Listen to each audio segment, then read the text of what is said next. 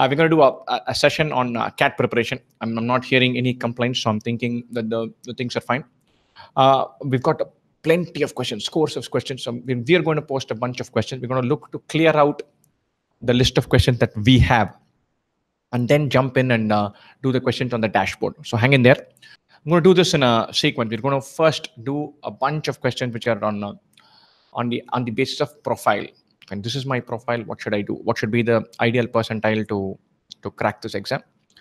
Uh, then we'll go, go on to preparation strategy.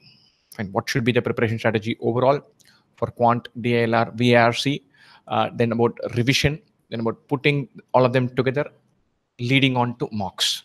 Right? Then we'll go to the old chestnut, uh, how to stay motivated, how to how to push yourself through ups and downs in the cycle. Then the bunch of questions we want to cover. Part four will be on work experience, internship. Can I call this as experience? Uh, what kind of work experience counts? How do I build profile? What certifications are valuable? What should I do? Those kind of questions. Then do a, a very quick detour to mocks. Then cover everything else. Fine. So that's the order we're going to do. First, we're focus on we're going to focus on profile based. What do we do to with this percentage do I have a chance? I've got uh, 71 in 10 standard, 72 in 12th, 7.07 CPI in electrical engineering. I'm scoring this. Do I have a chance with the top colleges? And I've got variants of this. Uh, what do I do? What are my chances with uh, different colleges based on whatever I've scored so far? Right. So first up, there is no correct answer to this. This answer has to be freakishly customized. Uh, and even if it is customized, even if uh, even if somebody takes in your profile and gives you very specific feedback, there is no way of having a comprehensive answer for this. Not from me, not from anybody. And so, so what are the broad guidelines for for getting into the top four five? So Ahmedabad, Bangalore, Calcutta, Lucknow, the best profiles, the guys with um, uh, nine, uh, 90 plus in 10th, 90 plus in 12th, and a CGP of more than 8.5 or equivalent in their undergraduation uh, maybe with two years of experience, they jump in. What should they get?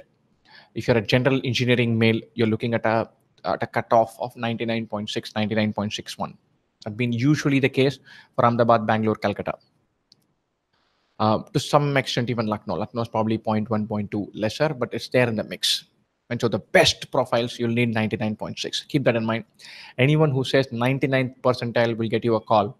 If you're general engineer male, that is wrong. That is not just uh, mildly wrong, that is way off target.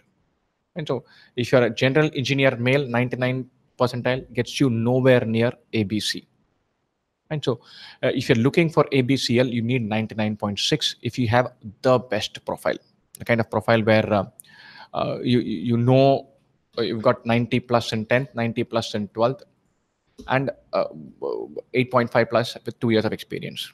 And so, what if there is a hole somewhere? What if there is a gap somewhere? What if I'm standing at a, an 85, 85 in 10th and 12th and a, and a 7.2 CGPA? If you're um, kind of average in two, or it's deep, very good in two, and absolute nightmare in the third. So I'm talking about either 91 in 10th, 82 in 12th, and a 7.8, or 91 in 10th, 93 in 12th, but a 6.2.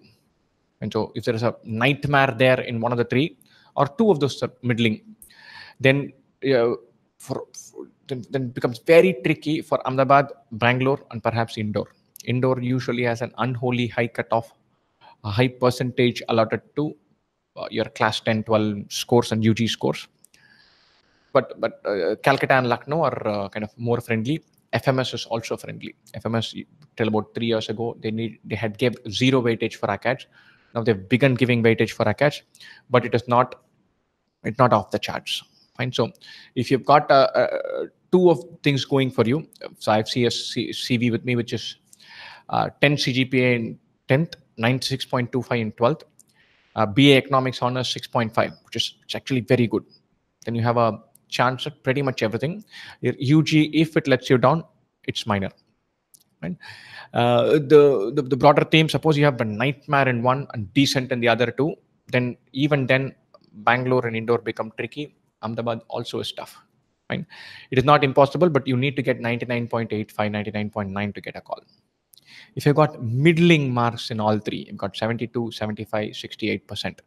Then Ahmedabad, Bangalore, Indore, Kozhikode, they all pretty much disappear. You're looking at Calcutta, Lucknow, even they are tough, and you're looking at FMS. If you're looking to ride in through on the basis purely your CAT score, everything else before that is a nightmare, then FMS is the college you're looking for. That, that absolutely wonderful college, top notch, uh, wonderful ROI, very low uh, cost and low weightage for ACADS. That's what you're looking for. And so having given this background, you'll obviously be able to, there are places in the net where you know what your uh, specifics uh, numbers can fetch you, what percentile you need to get. Even the bare minimum, you need to get 99.6. And so you have the best profile, you'll need to get 99.6 to get ABCL. Fine, remember that. After that, if you're poor in one, then you're looking at 99.75.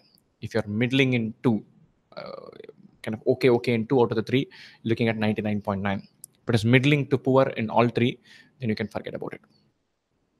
Uh, now, what does what is the impact of this? What does this mean? And quite a few people come back and say, "Are the odds are stacked against me? They want to prevent me from from studying."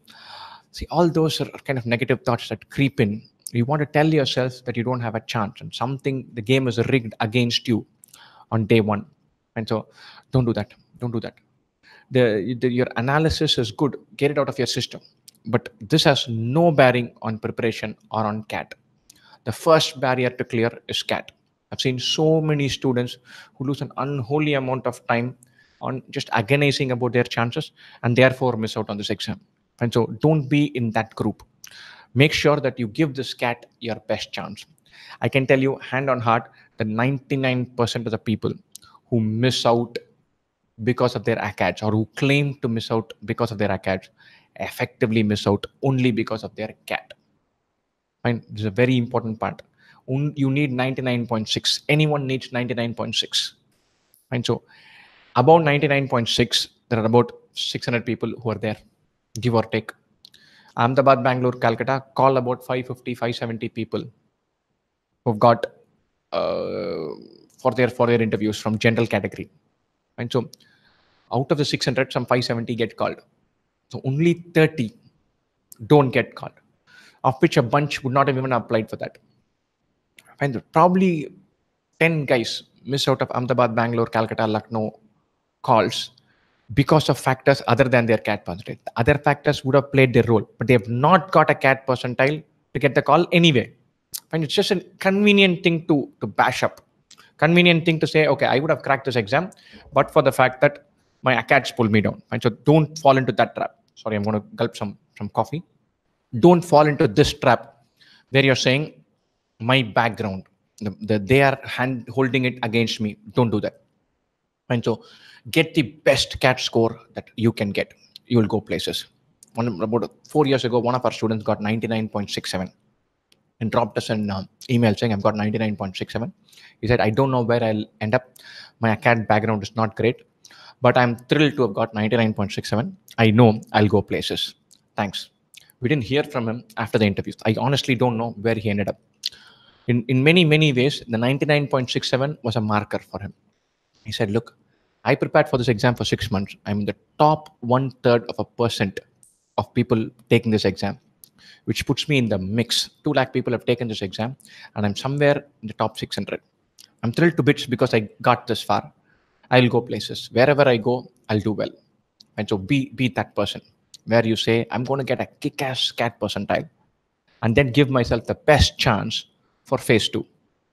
Don't get caught in this trap of profile. There's, there's plenty of dark places in the internet which will uh, give you a fabulous massage. There are groups which give which have, which have been created to say the game is rigged against you, which have been which where everybody goes and has a good whine and you go there you cry you feel happy about it and so that's going to take you nowhere and i'm sorry to be very harsh but whatever way the game is rigged it is your job to get the best score possible and give yourself the best chance. If you can change the system brilliant. Do that. Create that. Be that person. If you can't this is the hand you've been dealt with. Make sure you give yourself the best chance. If you don't score 99.6, you have no business complaining about ACADS. If you score 99.8 and you miss out on an Ahmedabad call because of your academics, take it from me, you'll go places. You'll live have a fantastic career, probably become a kick-ass entre- entrepreneur, and recruit a bunch of IIM Ahmedabad graduates. And so, be very clear about it. Don't don't fall into this trap of, uh, of, of whining about how your acads are against you. That said, everything top of the line, then 99.6. Uh, one thing off, 99.75. Two things off, 99.9. Those are the numbers that you need to get for Ahmedabad, Bangalore, Calcutta. Indore and Kozhikode, Lucknow are also tough. For the IITs, IIT Bombay, Delhi, Kharagpur, 97, 98 will be should should get you a call, even with the acads. Um, IIT Madras 92 93 you'll get a call Great Lake 92 93 you'll get a call SP Jain 98 99 you'll get a call so these are good colleges where you can go and have a wonderful career after that without having a, a great academic background prior to this. And so plenty of you have asked profile based questions. We will look to answer a bunch of them um, offline as well. But broadly this, these are numbers you're looking for. And, and second step make sure that this is not a reason why you're not preparing. And so there's nothing that is going to Uh, uh, you'll feel an enormous feeling of regret if you end up with a 99.5 after having spent six months whining about how acads have held you back. Acads are not holding you back. Your cat score is holding you back. Keep that in mind